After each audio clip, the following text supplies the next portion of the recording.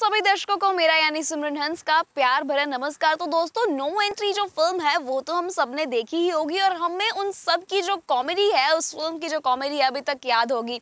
वही अगर हम उस फ़िल्म की बात करें तो 2005 में वो फ़िल्म आई थी और उस फ़िल्म में हमें नज़र आए थे सलमान खान, अनिल कपूर और फरदीन खान।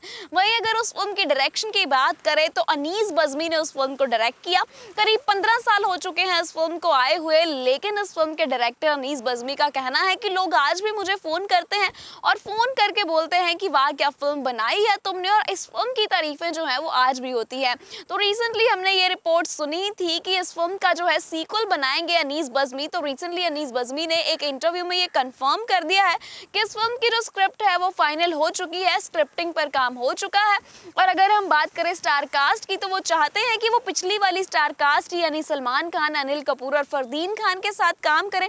लेकिन फ़िलहाल उनको इंतज़ार है कि कब बोनी कपूर इसके लिए फाइनल कर दे स्टार कास्ट को और उनको इंतज़ार है बोनी कपूर की हाँ बोलने का। वहीं आपके लिए ये खुशखबरी ये है कि इसकी जो स्क्रिप्ट है वो बिल्कुल फाइनल हो चुकी है तो अगर बोनी कपूर हाँ कर देते हैं तो इस फ़िल्म में हमें एक बार फिर से सलमान खान, अनिल कपूर और फरदीन खान देखने को मिलेंगे। यानी जल्द ही हमें ये फ़िल्म देखने को मिल सकती है सिनेमा घरों में।